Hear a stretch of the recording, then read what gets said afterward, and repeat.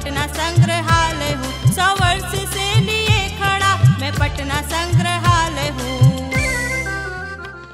Sir Patna संग्रहालय बनाने के पीछे उद्देश्य क्या थे? आखिर किन कारणों से और किन उद्देश्यों से इसकी नींव रखी गई?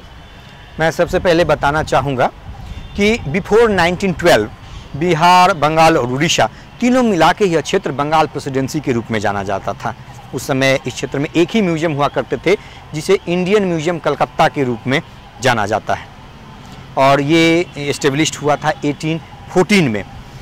और जब बंगाल प्रेसिडेंसी से बिहार और उड़ीसा कंबाइंड रूप से अलग होता है तो उसी समय डॉक्टर डी बी स्पूनर के द्वारा कुम्हरार की खुदाई चल रही होती है। पटना में एक जगह है, कुम्हरार, वहाँ की खुदाई चल रही होती है।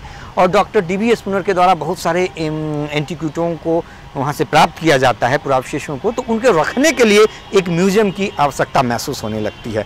मैं आपको फिर से याद दिलाना चाहूँगा कि बिहार एंड उड़ीसा के फ़र्स्ट लेफ्टिनेंट गवर्नर जनरल थे सर स्टुअर्ट बेली, जिनके नाम पे बेली रोड भी यहाँ पे है। उनके आवास पे 20 जनवरी 1915 को एक बैठक बुलाई जाती है और उसी बैठक में सचिदानंद सिन्हा के द्वारा एक म्यूज़ियम की मांग की जाती है।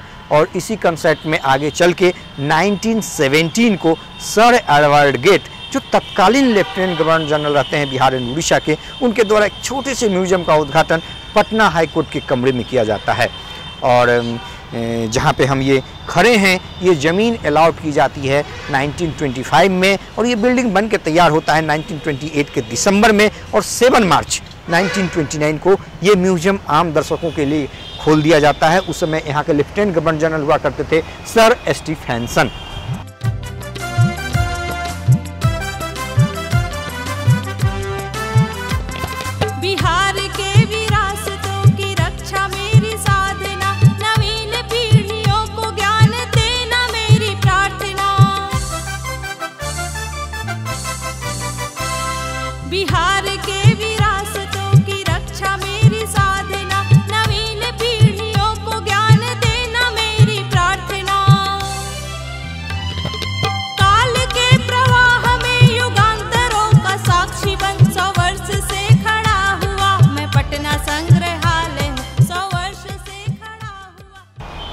sir, इस संग्रहालय की कलात्मकता के बारे में बताइए।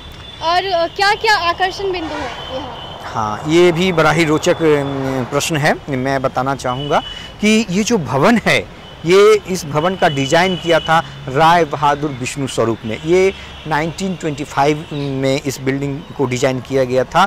और ये जो भवन है, वो मुगल और राजपूत दो शैलियों में ये जिसे हम इंडो सार शैली शैली के रूप में जानते हैं, उस शैली में ये बना है, जिसका डिज़ाइन किया राय बहादुर विष्णु स्वरूप ने। और ये 1925 में ये बननी शुरू हुई और 1928 के दिसंबर में, यानी तीन वर्ष इस भवन को बनने में टोटल लगा मैं आपको थोड़ा सा बताना चाहूँगा यहाँ पे कि ये मुगल और राजपूत, ये दो शैली का मिक्स रूप इस भवन में देख सकते हैं। मुगल की जो शैली, मुगल जो मस्जिद के ऊपर जो टॉम, गुंबज होते हैं, ये चारों किनारे पे हम वो गुंबज देख सकते हैं। और राजपूत शैली से जो लिया गया है, वो झरोखा, विंडो का जो कॉन्सेप्ट है, वो झरोखा हम इसमें देख सकते हैं, इस भवन में। जैसा, ऐसा माना जाता है कि राजस्थान में ऐसे भवन बनाए जाते थे राजपूत शैलियों में, जिसमें महिलाएँ, वो नायिका जो होती थी, पेंटिंगों में इस तरह की पेंटिंग्स देखने को मिलती है। जो नायक जब युद्ध पे जाते तो नायिका अपनी घूंघट डाल के वो नायक का ऊपर से झरोखे से वो इंतज़ार करती थी। तो इस तरह की पेंटिंग्स हम राजपूत शैली में भी देख सकते हैं। लेकिन ये जो भवन है, वो इंडो सार सैनी शैली, मुगल राजपूत शैली में बनी है। बहुत बहुत धन्यवाद सर हमें इस मैं पटना संग्रहालय